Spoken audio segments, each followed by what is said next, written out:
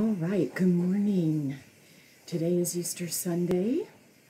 It's very early in the morning, and I decided to do lecture 9b this morning because of being able to upload this maybe a bit quicker than I did 9a. So let's get started. I am on page 153 of my PowerPoint, which co should coincide with your PowerPoint as well. We're continuing with chapter 9, which covers speech and language disorders in the home, in the school, and in the community.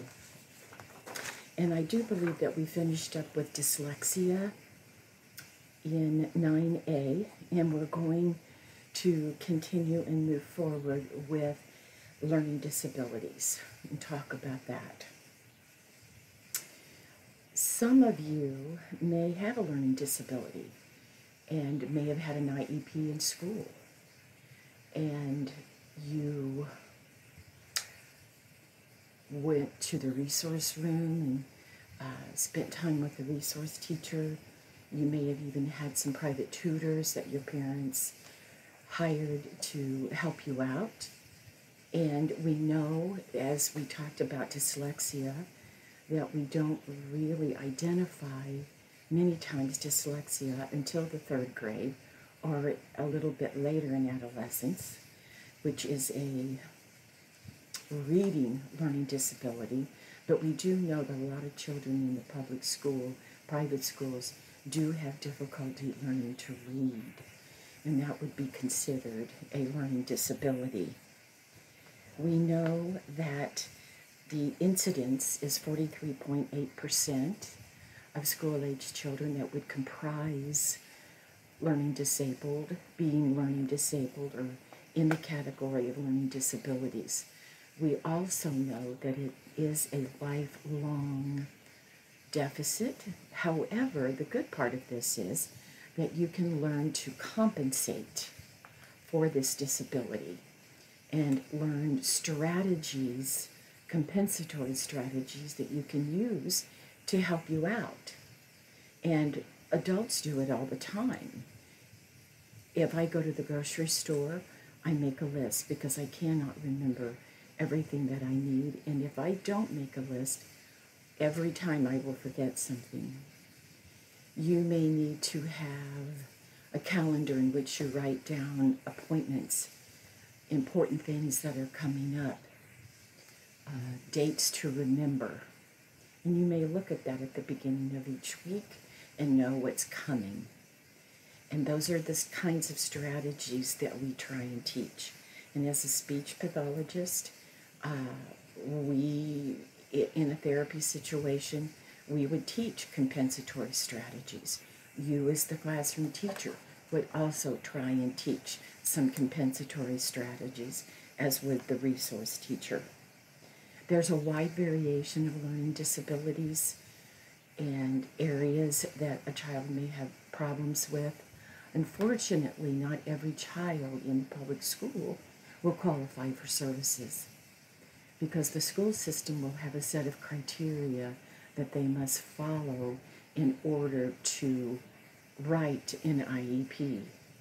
Unfortunately, these children who don't qualify are going to fall through the cracks, may continue to have problems, grades may fall, um, and they could become chronic failures due to some additional external problems, such as it causes great anxiety because they're not doing as well as their peers. So um, we know that those are the kiddos who fall through the cracks. And again, parents may need to become involved and provide additional help outside of the school system. Many times we don't know what causes a speech problem because there are so many factors that play into it. There are times when it's not as important to me as a diagnostician to know the cause, the why. because I still have a set of characteristics, a set of deficits that I need to work on. That's more important to me. Identifying the deficits, writing behavioral objectives, and then working towards achieving those goals in a therapy setting. These learning disabilities can be lifelong in terms of in um, dealing with how you function in society. Um, we know that we have a predisposition, and parents many times will say, Oh, I had the same problem. So we have parents who don't want their children to experience what they experienced. Therefore, they understand and will provide help pretty quickly.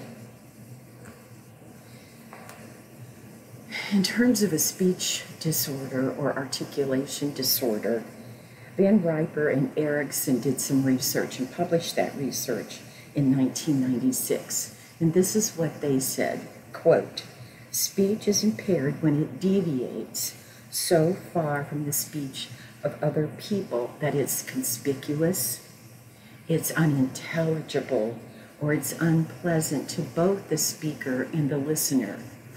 Well, what that says to me is that I need to be a good listener. I need to listen to parents and the fears that they express and what they see happening with that child at home. And I need to listen to the child and how the child explains their particular problems with learning. They don't understand it. We don't understand the cause, but maybe we can work together and make it a bit better for them. As we think about the speaker, if you have a child who has a pretty significant articulation disorder, make sure that you're talking to the speech pathologist. But keep in mind that the speech, the way that the student produces sounds, produces speech, is just one small part of what we're talking about with communication. But language competence is necessary for effective communication as we know it to make them more successful. Oral speech and achieving good language skills are foundation to the development of literacy. Now remember, one area of language feeds over to another area. So if you're having trouble in reading, you may also have trouble in spelling. But this, the flip side of that is if you improve reading, hopefully we're seeing improvement in spelling. They work in tandem in terms of deficits, but they also work in tandem in terms of improvement. One area improves another area many times. Not all communication, meaning speech and language disorders, can be remediated or not easily. We hope to make some improvement, but um, we need a student who's motivated to make changes and has trust in you as the educator. As we look at potential causes, we look at functional disorders, we look at organic disorders, and we look at acquired organic disorders. Now, a functional disorder is described as or explained as I've done testing, I've done everything I know to do, the test results are here, but I still can't explain the why behind it. We're, a, we're not able to um, explain it and, and identify it as such. Examples of functional influences would be reduced environmental stimulation, poor motivation. If you're a chronic failure in the classroom, you're not real motivated. Why should I try? I try and I still fail. So we're, we're looking at poor motivation, and that is very difficult to deal with. Emotional issues, along with being a failure in the classroom, comes anxiety. and more emotional issues that will suppress learning. Disorders that have no organic base, we can't explain it, include phonological disorders and a specific language impairment. We know what we have, but we don't know the why. An organic disorder, on the other hand, is one that is caused by an identifiable, identifiable pathology of an organ system.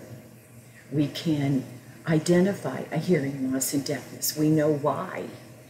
If there's a genetic syndrome that compromises the intellectual development, such as in Down syndrome, we have growths on the vocal folds that cause a child's voice to be raspy. There could be some paralysis of, of the vocal folds, maybe just one, unilateral paralysis. Well, as we learned earlier, that goes back to cranial nerve damage. So we know the why. We can identify it. As we talk about acquired organic conditions, that could be traumatic brain injury, we also call it TBI. It may be a degenerative neurological disease, such as a brain tumor. It could be in older adults, ALS, which is a neurological disease that is very progressive, that results in the individual's inability to produce speech. We have multiple sclerosis. We have juvenile Huntington's disease any condition that is neurologically based. So we know the why, we can identify that.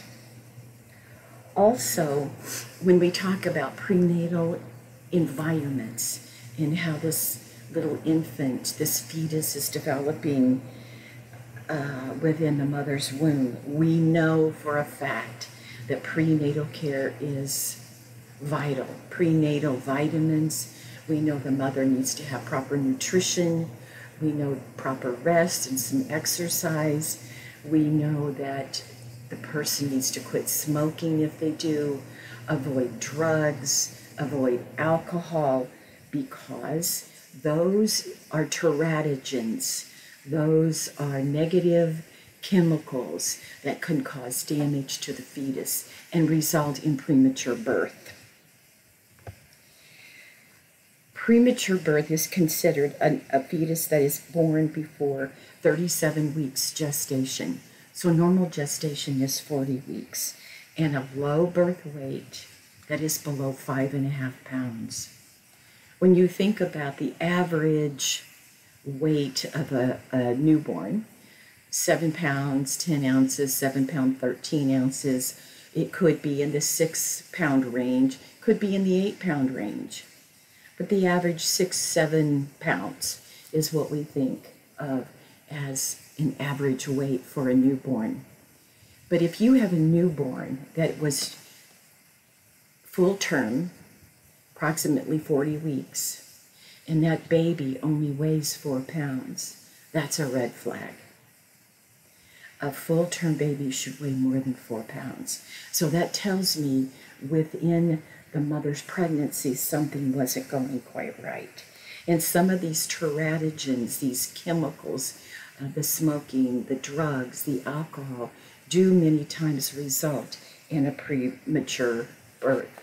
And therefore, we're going to have learning disabilities and communication problems.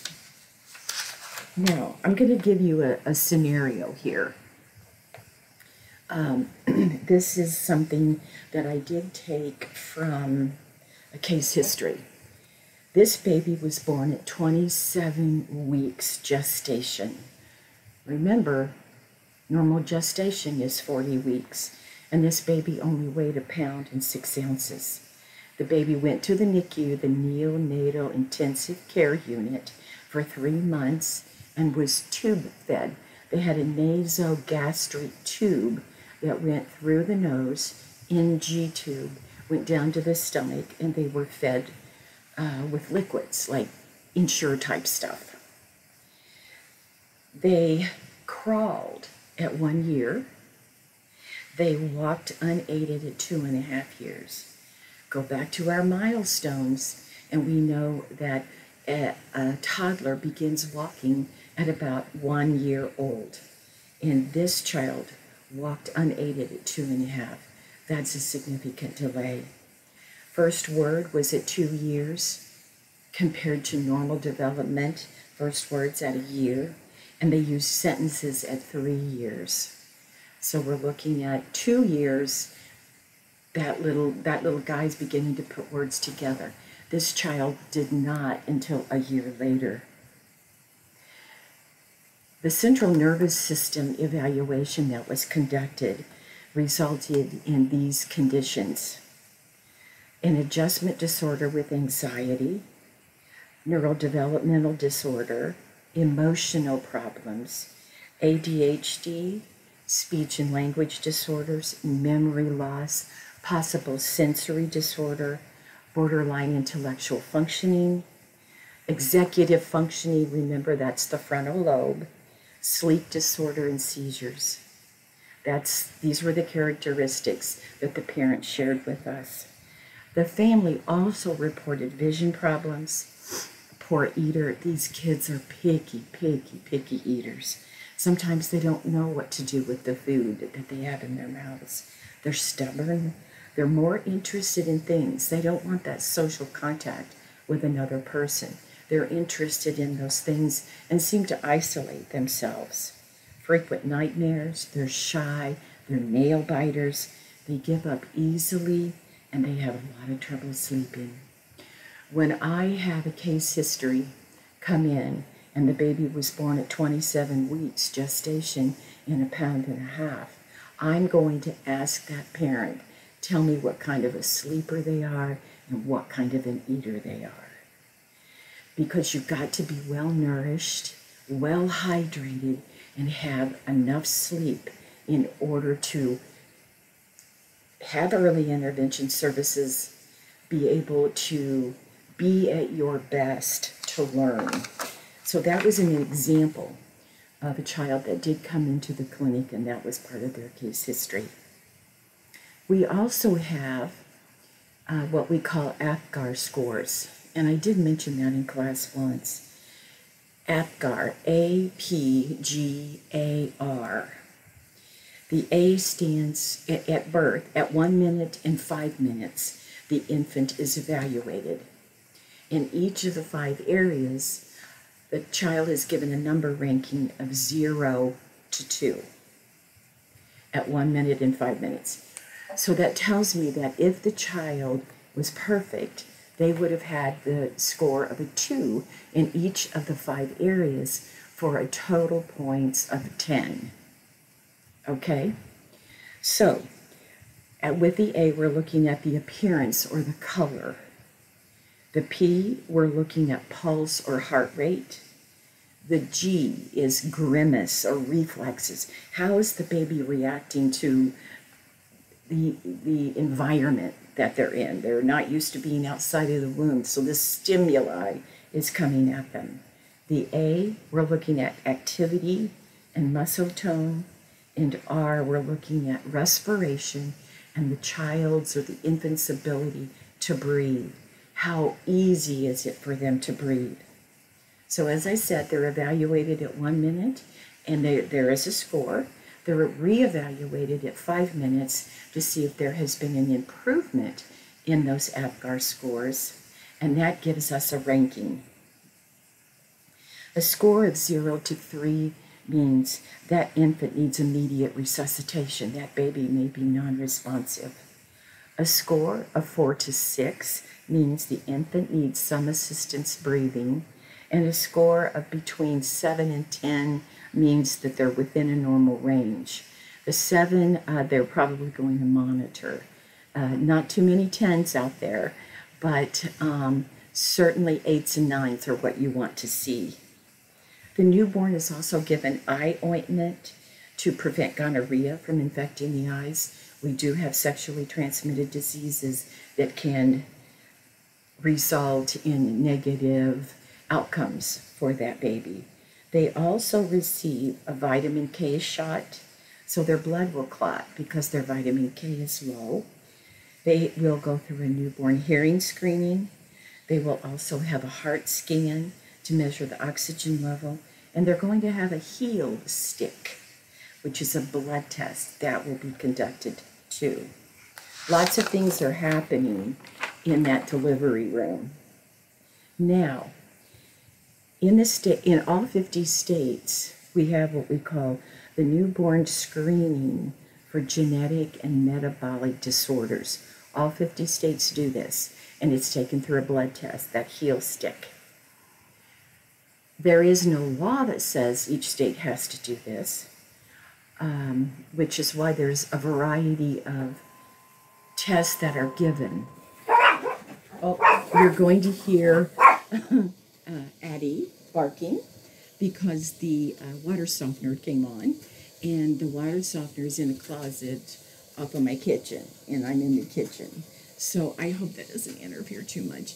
It is three o'clock in the morning. So, and that it's it's scheduled and set to um, do whatever it does in the early morning hours. I'm sorry. Let's go back to what I was talking about.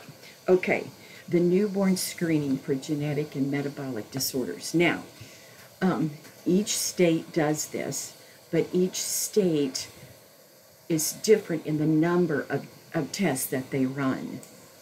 There is no law that says they have to do 10 or 20. But Indiana, I do believe, will test for 20 or more genetic or metabolic disorders. And that's a really good thing because in many of these genetic and metabolic disorders, symptoms don't begin until days or even weeks after birth. Well, when symptoms are showing up, there could al- already be damage to the nervous system, to the kidneys, to vision, hearing, and other body systems. So you want to do that testing right away. You don't want to wait until the system shows up.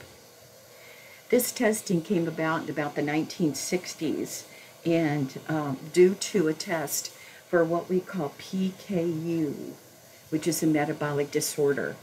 Now, I don't want to get into this much because this isn't the class for that, but I would hear about PKU babies.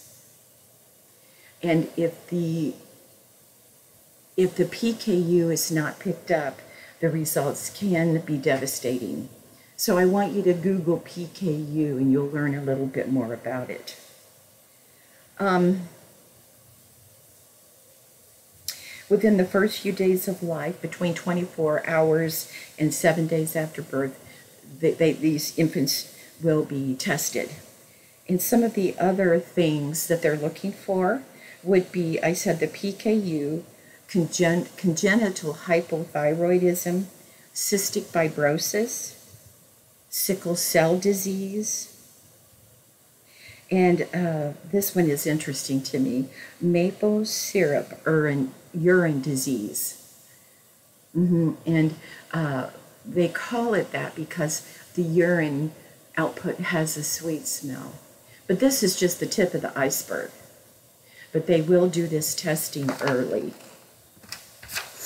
But you know, part, part of sometimes what happens too is that um, if the mother comes in and deliver to deliver a baby, and mother doesn't have insurance, and mother's going to deliver that baby and may 20, 24 hours later be gone out of the hospital.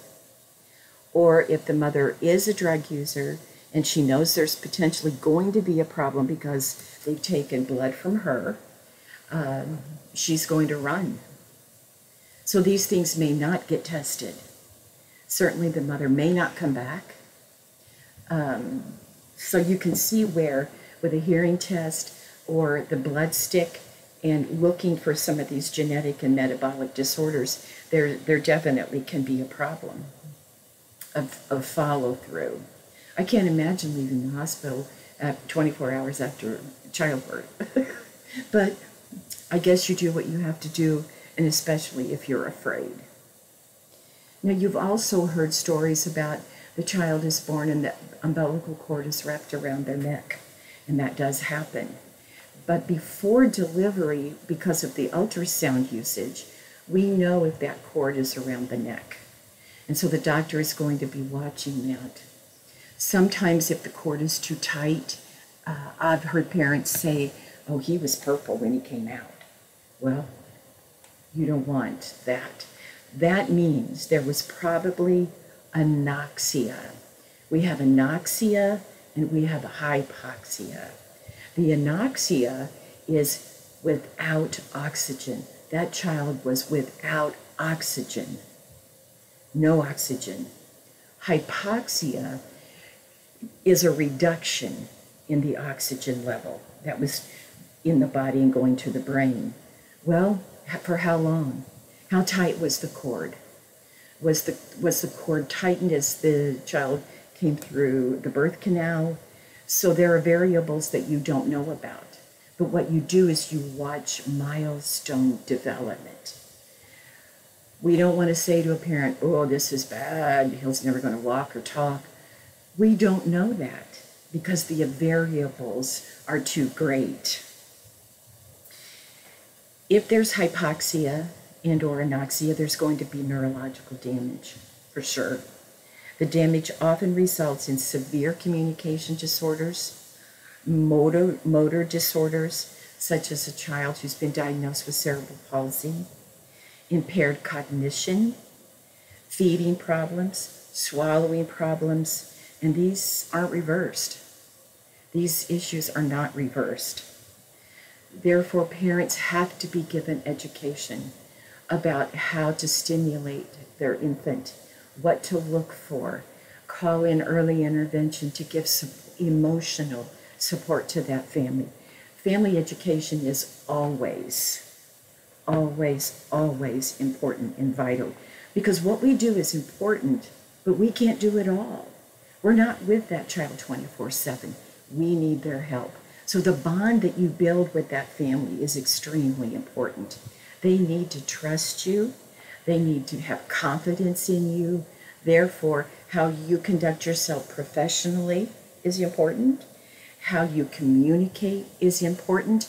Goes back to the beginning of this semester of this chapter when I talked about your need to present yourself professionally and put that best foot forward so that they have trust and confidence in you. Okay, that was approximately 27 minutes. I'm going to stop there. When we begin the uh, 9C section, we're going to talk a little bit, overview a little bit about some hearing loss, and I'll start on PowerPoint page 156. I want to wish you a happy Easter. I hope you have a good day with your families. See you later.